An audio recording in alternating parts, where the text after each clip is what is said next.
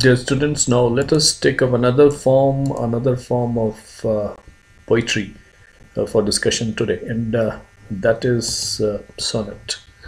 Now, uh, what is sonnet? Sonnet actually it is a term which is derived from the Italian word sonetta, which means a little song, a small song, and uh, which is further derived from the Latin word sonus, sonus, meaning a sound.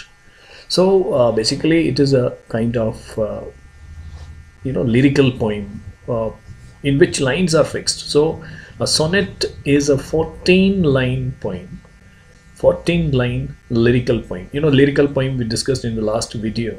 And if you haven't seen it you you just watch it and uh, get an idea of what a lyrical poem is. So basically a lyrical poem is uh, about some intense personal emotions.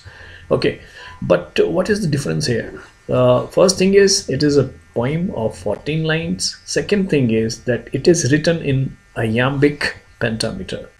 So we uh, in the next slide I will uh, just briefly tell you what is iambic pentameter. Because this is important because it is an important feature of sonnet. Then its rhyme scheme is uh, you know fixed uh, with little or no variation.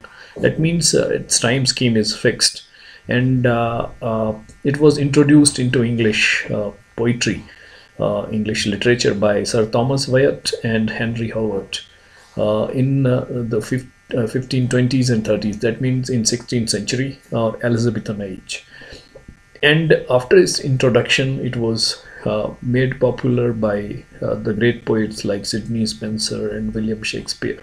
So before going to the next slide, uh, just a recall uh, of what we have learned in this slide. Sonnet, word which is derived from Italian word sonetto, which means a little song, and uh, it is a 14 line poem. That means total number of lines are 14 and it is a lyrical poem which is written in iambic pentameter. This is important iambic pentameter.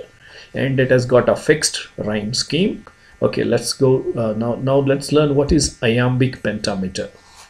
Now uh, iambic pentameter you know it is a it is a uh, length of a line line in words in poetry. Uh, it's just like when you go to the tailor. So, you know, the tailor takes uh, uh, a measure of uh, your hands, length, waist, and all. So, uh, likewise, poetry में भी हर line की एक length होती है and length is measured in meter so what is that meter वो meter centimeter और meter वाला नहीं. इसका मीटर थोड़ा सा अलग होता है. What is that meter that will discuss now penta आपको पता है पेंटा का मतलब फाइव पेंटा हेक्सा मतलब सिक्स तो पेंटा मतलब फाइव और मीटर मतलब उसकी लेंथ फाइव मीटर मीटर ये वो सेंटीमीटर और मीटर वाले से कंफ्यूज नहीं करना. Now iambic pentameter that means a line of words in poetry which is composed of five metrical feet पाँच उसके metrical feet होते हैं पाँच उसके feet Uh, that is why penta meter so 5 meter that means 5 metrical feet अब वो feet uh, कौन सा है अगर वो unstressed followed by stressed syllable है तो उसको हम कहते हैं iamb iamb I A M B iamb so अलग अलग फीट हैं देर आर अलग different types of meters in poetry that will take up later in a separate video for the time being you just understand iamb का मतलब है to syllables to syllables जिनमें पहला syllable unstressed है और दूसरा stressed है right know what is a syllable that I just go through in the next light so uh, syllable आप समझिए uh, एक पार्ट ऑफ़ ए वर्ड एक वर्ड का हिस्सा। तो यहाँ लेट्स अंडरस्टैंड what इज़ a syllable.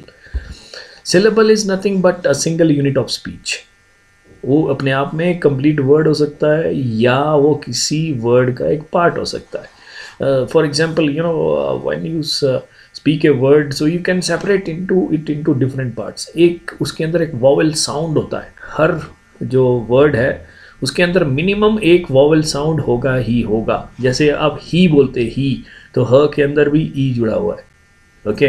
हाँ बोलते हैं तो आ जुड़ा हुआ likewise you know, likewise you know all words they are made of vowel sounds और वो अलग अलग वॉवल साउंड्स जो हैं they can be separated into syllables for example जैसे हम कहते हैं बिग बिग सो एक ही सांस में बोल देते हैं, कोई ब्रेक नहीं लग रही। बिग। तो इसमें किसकी मात्रा? हिंदी में समझे तो मात्रा। समझ? हिंदी में आप समझे तो जितनी मात्रा, उतने सिलेबल सीधा सा हिसाब रखो। बिग, इसमें एक ही मात्रा है बिग एक ही सिलेबल है। खूल ऊ की मात्रा एक ही है। ड्रंक, अ आ रहा है सिर्फ़ बीच में, अ। ड्रंक क नहीं, आप बोलेंगे क के आगे भी अ नहीं है। It is drunk it is not drunk it is drunk एक ही एक ही साउंड है। एक ही एक ही आपका वॉवल साउंड है। और एक ही मात्रा समझो। उस तरह से let's go to the next two syllable solid solid solid so एक एक हो गया इसमें ओ की मात्रा और लिड एक दूसरा हो गया तो दो सिलेबल फ्रीडम फ्रीडम फ्रीडम ई और, अ, दो सिलेबल पंपकिन पंपकिन अब you just you know practice this it it is very easy अब देखो ना कितनी मात्रा है, कितनी ब्रेक लग रही है. पंपकिन आप सीधा थोड़ा ना बोले पंपकिन ऐसा तो नहीं बोलते आप. आप पंपकिन इसी तरह से इंस्ट्रूमेंट इंस्ट्रूमेंट अब इसमें देखो कितनी मात्रा आ रही है, तीन आ रही है। इंस्ट्रूमेंट राइट तो इंस्ट्रूमेंट तो मतलब ऐसे सिंपल समझे तो तीन ब्रेक लग रही है भाई। मेडिकल मेडिकल मेडिकल सो तीन सिलेबल इसके अंदर। तो इसमें अल्फ़ाबेट बहुत है, लेकिन मात्रा कितनी है? तीन ही है। वॉवल जिसको ऊपर बोल रहा है वॉवल साउंड लास्ट जो है वो चार सिलेबल का एग्ज़ाम्पल देखते हैं. Intelligence intelligence intelligence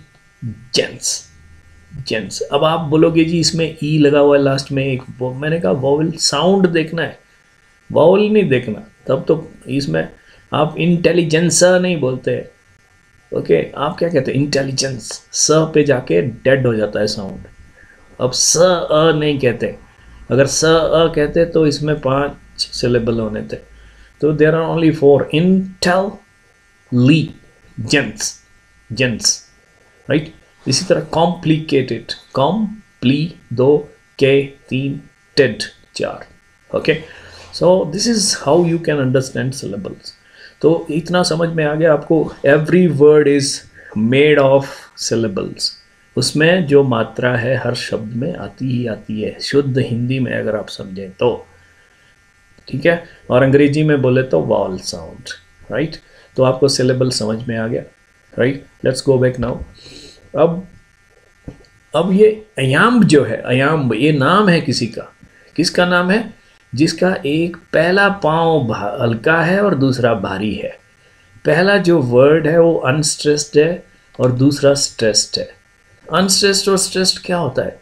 Unstressed means where you are putting more force on the word that is stressed और जहाँ पे कम फोर्स लगता है वर्ड पे, उसको बोलते हैं हम अनस्ट्रेस्ड राइट हम ऐसे नहीं कहते हमेशा से कि हमेशा से आप स्ट्रेस्ड पैटर्न नहीं फॉलो कर सकते। जैसे किसी को डांटना है आपने तो आप एक स्ट्रेस्ड में पैटर्न में बोल सकते हो, एक दो सेंटेंस दो चार। लेकिन जब भी आप दिन में बात करेंगे तो आप इस पैटर्न को फॉलो करेंगे।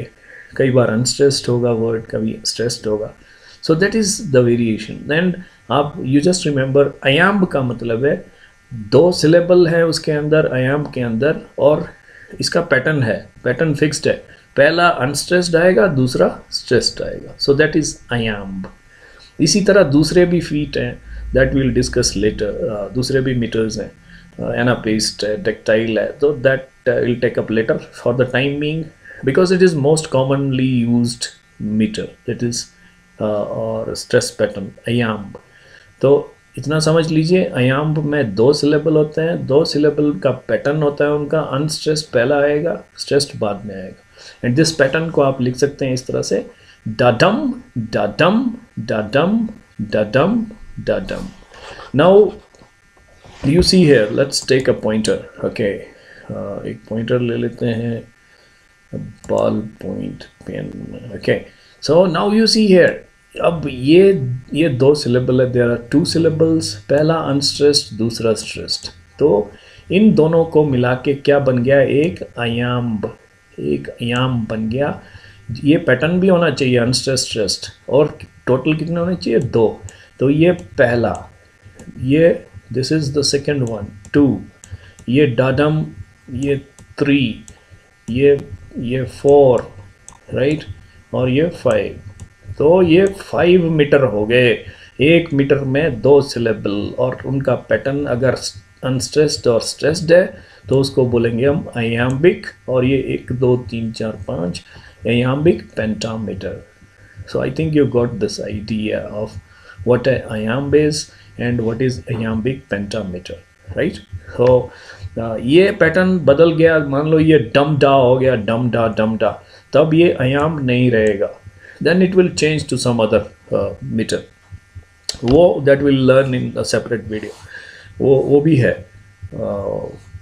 Right that will discuss later okay then अब इसी से रिलेटेड एक और चीज़ है heroic couplet heroic couplet because you are students of literature and you know heroic couplet was most popular form which was use by many poets during neo classical age और कई बार आएगा आपको जफरी चौसर से शुरू करेंगे आप।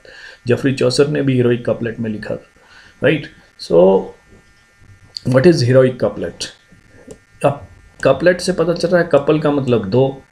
जैसे कॉमन थिंग दो आदमी, दो व्यक्ति हैं तो कपल हो गया। ठीक है तो pair of you know end rhymed lines pair मतलब दो लाइनें। जिनका क्या है? एंड राइम है। एंड राइम का मतलब क्या होता है? जिसमें एंड वाला वर्ड जो है एक दूसरे को राइम कर रहा है। जैसे twinkle twinkle little star how I wonder what you are तो स्टार और are you know they are rhyming तो ये है एंड राइम्ड राइट तो कितनी लाइनें? दो लाइनें। जो एंड राइम्ड है और लिखी किसमें है? They are written in iambic iambic pentameter किसमें लिखी है वो? अयाम्बिक पेंटामीटर में। कहने का मतलब उनका ये स्ट्रेस पैटर्न है। उनमें टेन सिलेबल है सिलेबल यहाँ दस है। और दो दो सिलेबल से हमारा एक मीटर बन रहा है अयाम्बिक ठीक है? तो वो भी लिखी होगी किसमें? अयाम्बिक पेंटामीटर में। तो इस तरह के जो लाइंस हैं, इस तरह के जो कप, उसको बोलेंगे हम heroic couplet heroic couplet right ये बहुत बढ़िया एग्ज़ाम्पल है यहाँ पे। एलेक्जेंडर पॉप आपने सुना है little knowledge is a dangerous thing so इसी का वेरिएशन है वो। Actually written this thing little learning is a dangerous thing. Drink deep or taste not the Pyrean spring. Okay, so yeah, this is a perfect example of a heroic couplet. और इसमें आपको ten syllables मिलेंगे अगर आप so this is an exercise for you just count the syllables in each line और ये आपको ten ten syllables मिलेंगे दोनों में ठीक है so you just do it pause the video here and count the syllables okay तभी ये अयाम्बिक पेंटामीटर हो और इसमें क्या है? ये स्ट्रेस uh, पैटर्न भी होगा। Little little a little a जो है a unstressed lit stressed tell unstressed ठीक है? Stressed okay unstressed and learning two syllables है। लर्निंग लर्निंग तो ये अनस्ट्रेस्ड एंड स्ट्रेस्ड तो ये पैटर्न थोड़ा सा मुश्किल लगेगा आपको because we are not native English speakers so it may it will be a little difficult for us but uh, not impossible uh, if you really want to practice it then you can take the help of internet and all and you will uh, definitely be able to master it तो अभी ये heroic couplet clear हो गया और दूसरी चीज़ एक इसी के साथ जुड़ी हुई है that is blank words blank words आपके जो एलिजाबेथन ड्रामेटिस्ट थे क्रिस्टोफर मार्लो और बाकी विलियम शेक्सपियर तो वो लोग इस इस तरीके से प्लेज प्लेज के डायलॉग्स लिखते थे ब्लैंक वर्ड्स में। What is blank words unrhymed lines written in iambic iambic pentameter ऊपर वाला राइम्ड था और दो ही लाइनें थी तो कपलेट हो गया। ये अनराइम्ड है। These lines are unrhymed but they are also written in iambic pentameter तो इसको बोलेंगे हम ब्लैंक वर्ड्स तो यही फ़र्क है हीरोइक कपलेट और ब्लैंक वर्ड्स में। कपलेट में ओबियसली दो लाइन है दो एंड राइम्ड हैं iambic iambic pentameter में लिखी हुई है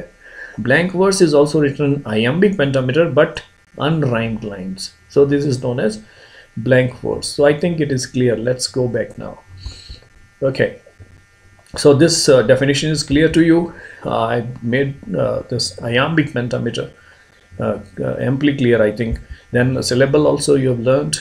And uh, now let us learn how many types of sonnet, sonnets are there. So uh, the most famous sonnets, the well-known sonnets in English are three. One is Petrarchan, the second one is Spenserian, and the third one is Shakespearean.